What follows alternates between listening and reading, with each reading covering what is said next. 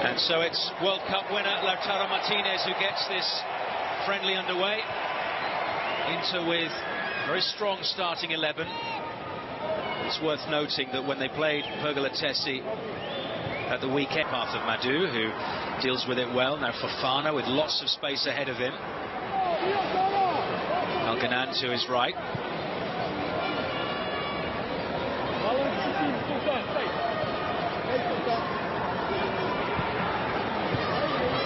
Talisca and Ronaldo heavily involved. That's a really good ball in, and Al Nassr strike.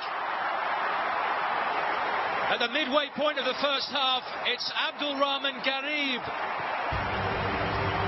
who puts away a delicious ball over the top from Talisca.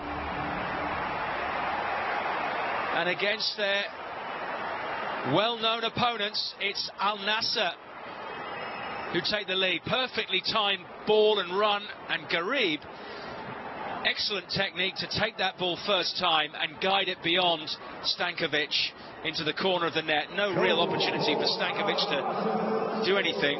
His defence was completely stranded. And we have a goal.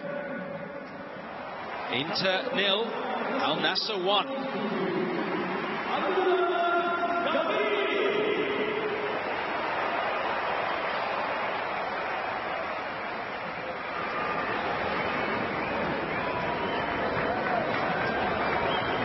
An academy graduate at Al Ahli was Abdul Rahman before joining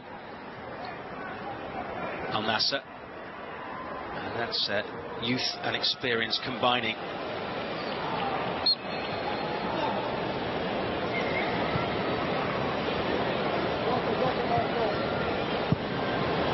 They threatened it.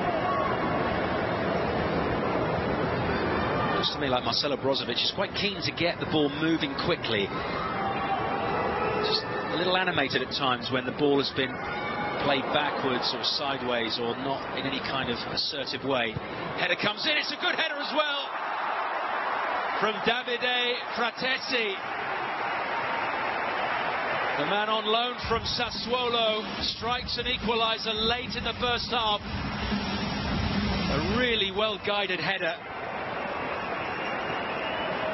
the cross was from Denzel Dumfries, and it was just behind Frattesi, so he did really well just to adjust his body and get enough power on the ball to divert it into the far corner away from the reach of Nawaf. It's a really good header. He was unmarked, but nevertheless, a decent goal. So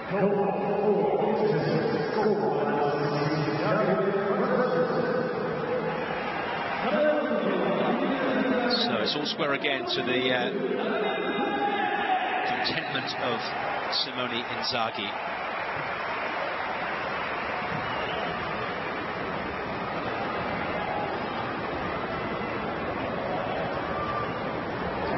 Just a few seconds left of the half. I don't know whether...